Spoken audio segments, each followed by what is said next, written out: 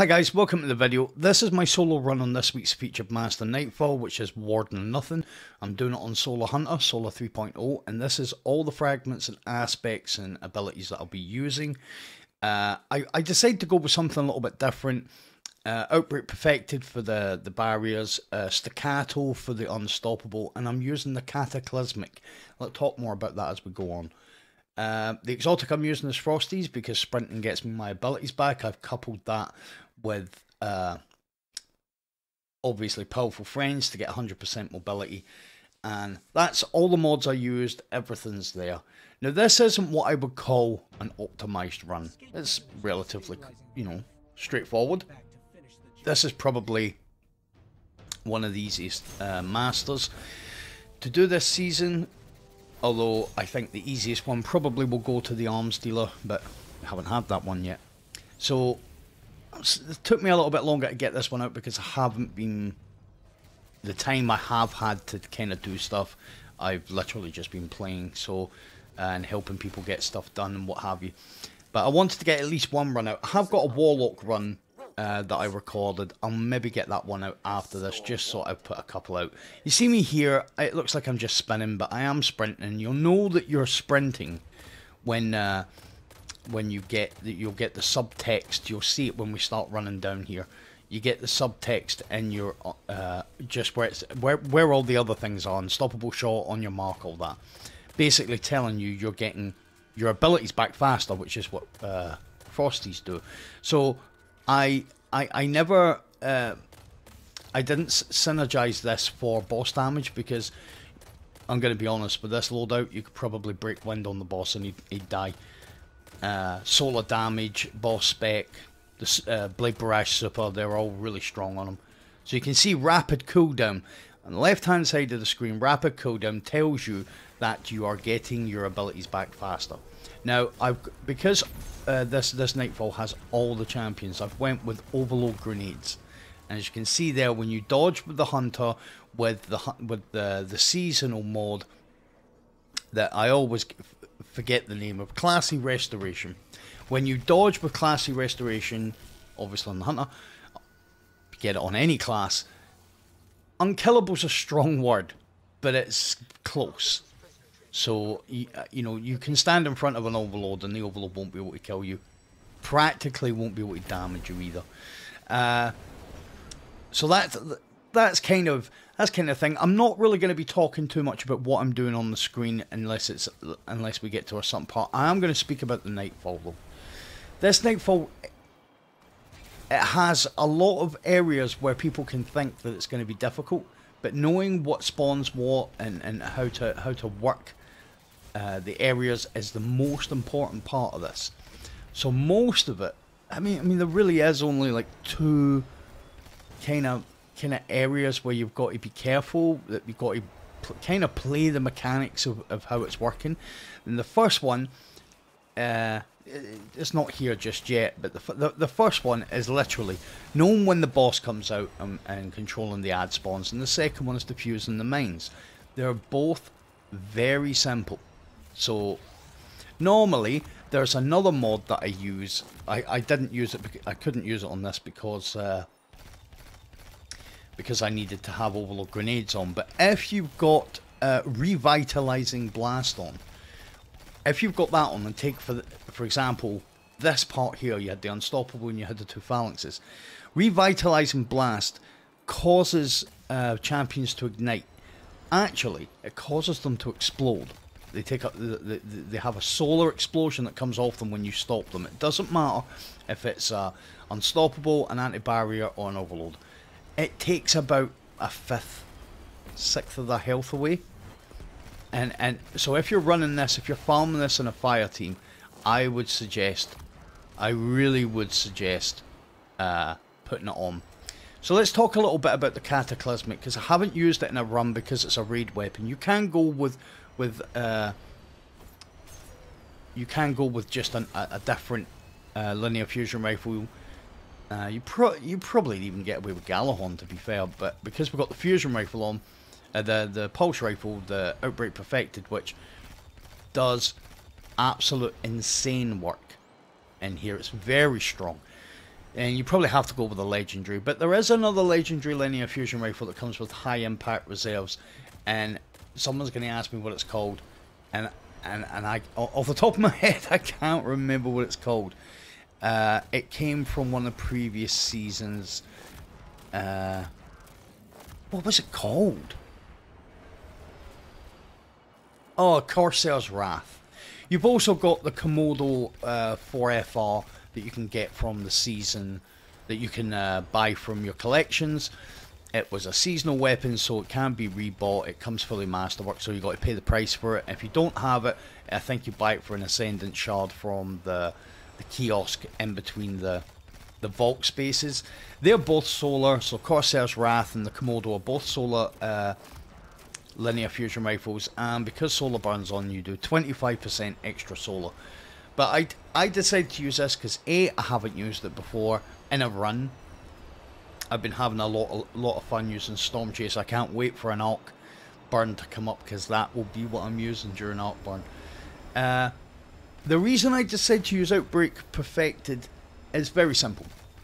Uh, famine is on, so you don't drop as much uh, heavy, or uh, you don't drop as much uh, uh ammo for the weapon you're using.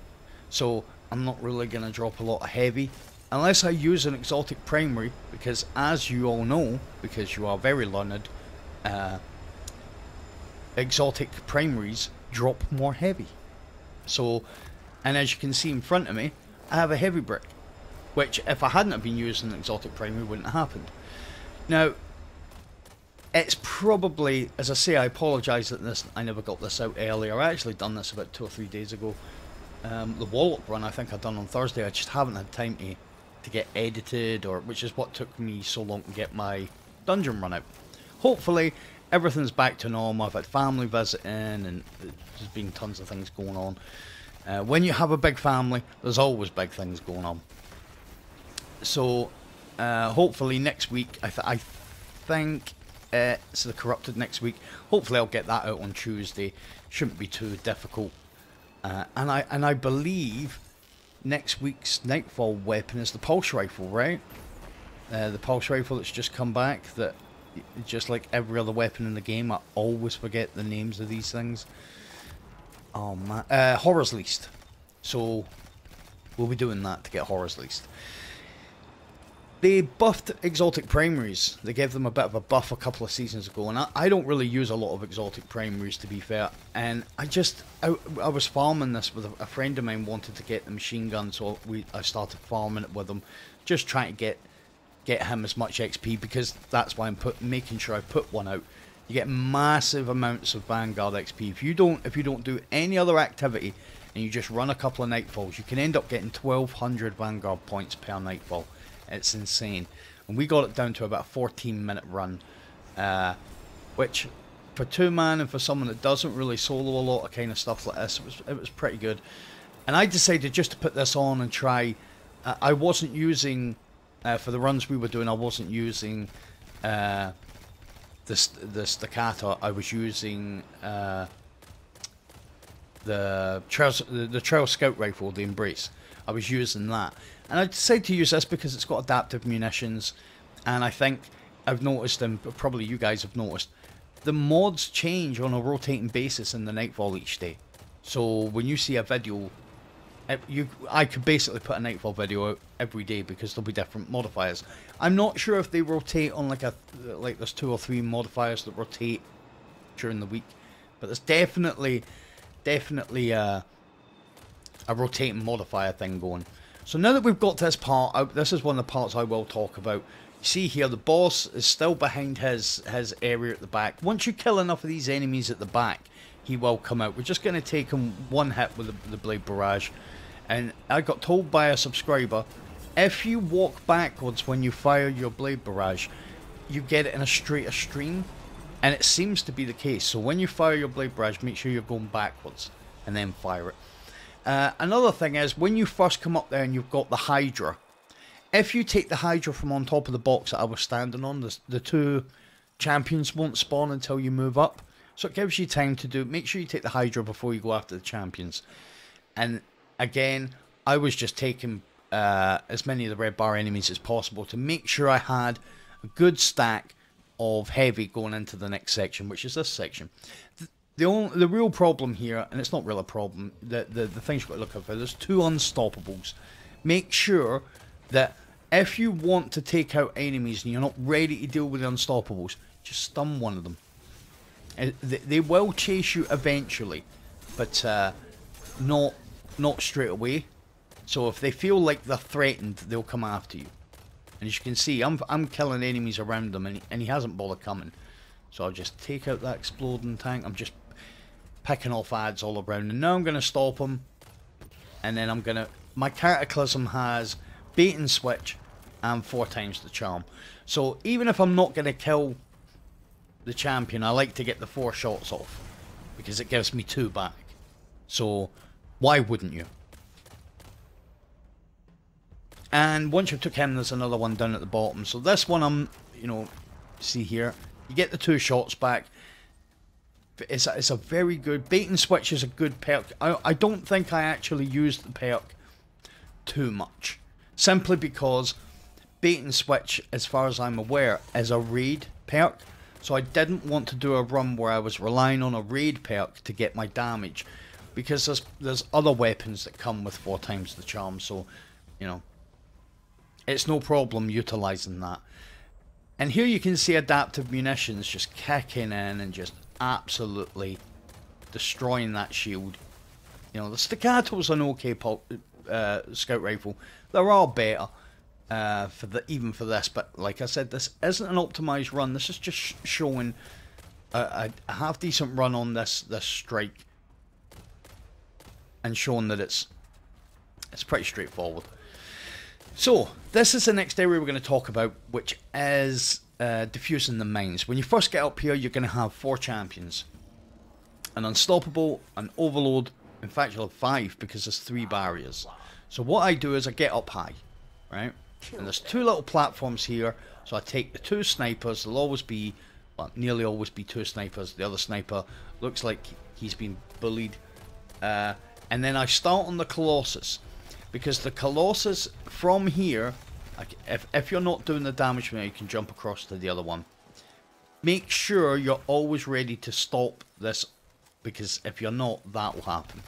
I'll show you what I do here. So what I do is I put a full clip on, I reload, and then I'm reloading my scout, and then I put another bit on, reload, and I just stay with the what I'm doing with the pulse now is I put a couple of bursts to break the shield. This it's the the way I kind of the optimized way to do it with this is put a bit of damage on the boss. When you break his shield, put the rest of your clip, reload, put half your clip, and then save the rest to break his shield again. You'll see here I'm doing it here with the hobgoblins. Just making sure I've always got enough to break the shield and then I just use the rest of the clip as damage and I put a couple of bursts in wait for the shield to go up and just keep doing that and you destroy these champions. So I'm just doing a bit of run to get my grenade back. It's really cool being able to do that because what I can do is I can use the grenade for more than just the overload. See there done a decent bit of damage to the hobgoblin. I'm gonna keep do keep to the same routine. Right and then it's going to be, I'm going to take the Unstoppable and I'm going to leave the Overload because I need to be down in front of the Overload to hit him with a grenade and do the right sort of damage. So let's talk about the play. Let's talk about the mines. The mine in the centre, now, excuse me because it won't come as much of a surprise. I can't remember which is A, B, and C. I think B is the first one that comes up. And I, I think, if I'm, I could be wrong, is A on the right and C's on the left? I don't know. We'll just go right and left anyway. So when the mid plate comes up, you've got one minute. You've got one minute to clear to, before you actually need to go on the plate. So what I'm going to do is I'm going to utilize that time totally to clear ads. So what's going to happen is once I take this uh, over the overload, you see that's him exploding there. Once I take him, I'm, I'm going to go back up to my spot and there's a big, big void minotaur that comes out. A big, big, big. He's really big. I'm just running into the wall to get as much of my grenade back as possible. I'm going to take this Void... I'm going to take this Void Minotaur out over on the right-hand side. So it's A in the mid. I'm going to take this Void Minotaur out first. You see him there? Take him out first. And that means that when I go over there, I can just I can just go over and capture the plate. There we go. He's down. So now, normally what happens is the unstoppable goes down towards the other side, the left hand side, and the barrier stays up there. What we're going to do with the barrier is we're going to pop with super and clear the barriers. You can see I've got heavy there. I'll break that shield. Now what we're going to do is get a shield break on this hobgoblin. Normally, I would just fire my super because the other champion wouldn't be there, but this time I'm making sure my super does maximum damage, although it didn't. And the reason why it didn't, I just get a thrown knife kill there, is because there were other ads and it shared the damage. So I'm just keeping an eye on the timer.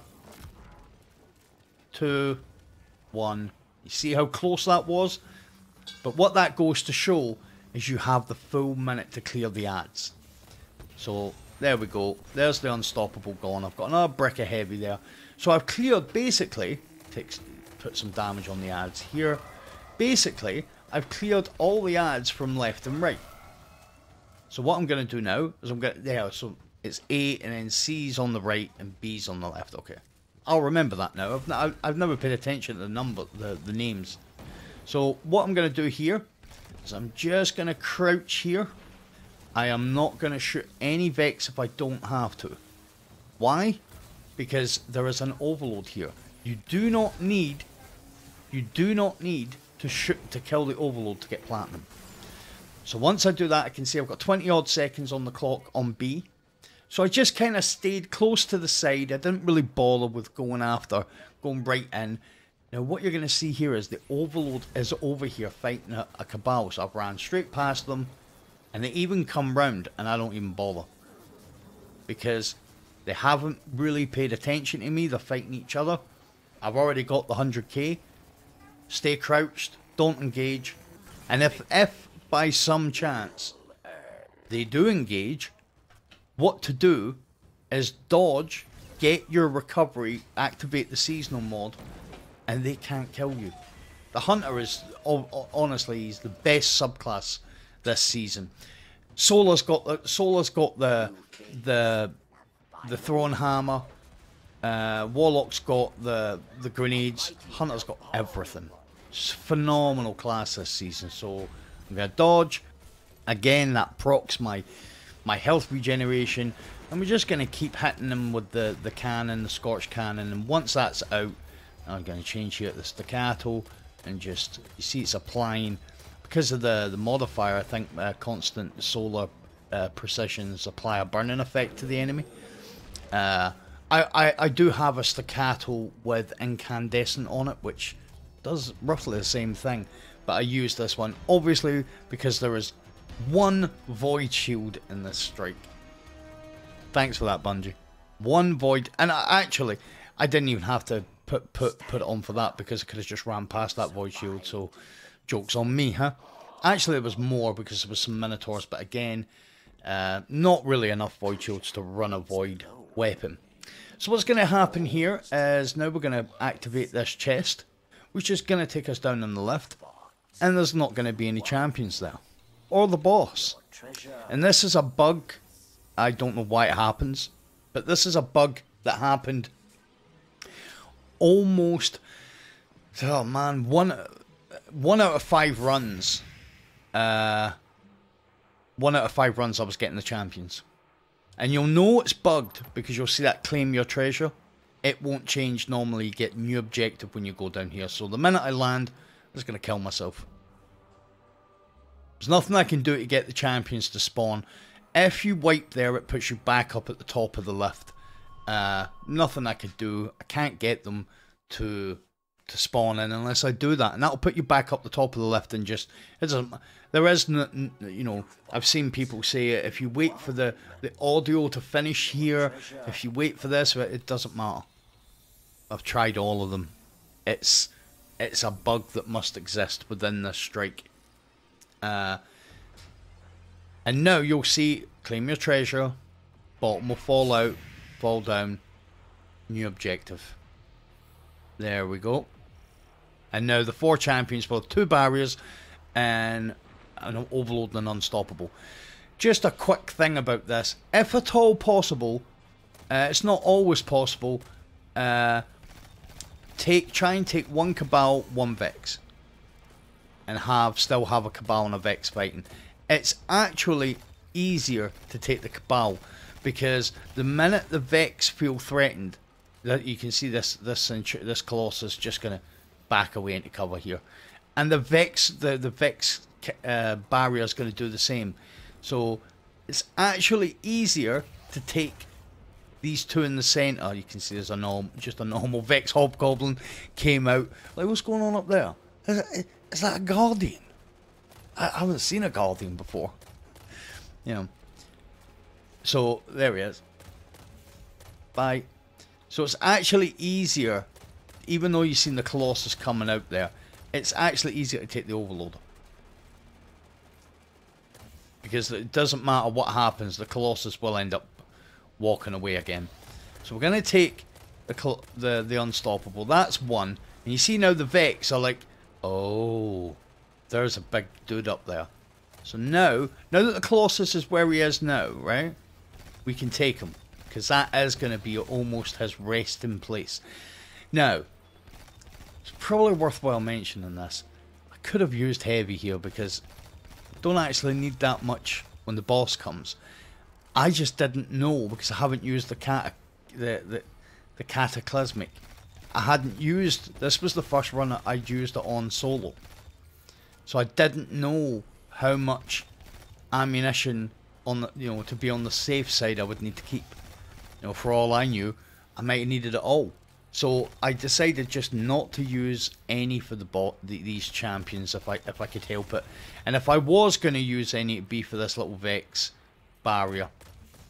But the the the outbreak does really good damage, so I figured the outbreak would do. You can see there, the because I've got the catalyst, the more of these Siva nanites that I attach to to the the champion, you'll see the more I attach, the more the numbers go up.